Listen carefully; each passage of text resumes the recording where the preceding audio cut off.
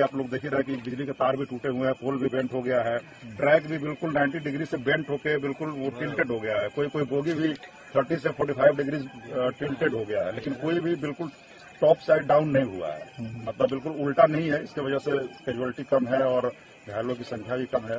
तो कैजुअलिटी कितनी हुई है सर कैजुअलिटी मैंने आपसे भी बताया कि हम बता भी नहीं सकते हैं लेकिन जो सुनने में आ रहा है कि वो शायद तीन चार हो सकती हैं। अब जो बोगी काटी जा रही है। अ, वहाँ पर देख के फिर ऑफिशियल फिगर वही लोग बता पाएँगे क्योंकि हमें टोटल कितने हुए हैं। सर सारे के सारे कुछ डिटेल हुए हैं। सारे के सारे के सारे। डिटेल हुए हैं। इंजन से लेकर हम लोग पूरा जो पीछे वाली जो गार्ड और पार्सल का जो वैन था वहाँ तक गए। गार्ड के बोगी में भी गार्ड से भी हम लोग मिले।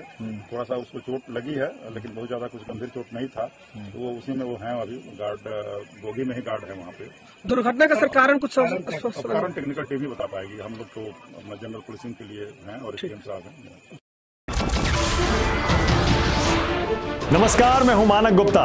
अगर आपको हमारा ये वीडियो पसंद आया हो तो इसे लाइक और शेयर ज़रूर करें। और हाँ हमें सब्सक्राइब और फॉलो करना ना भूलें, ताकि आप देश और दुनिया की कोई खबर मिस ना करें। तो जुड़े रहिए हमारे साथ और देखते रहिए न्यूज़ 24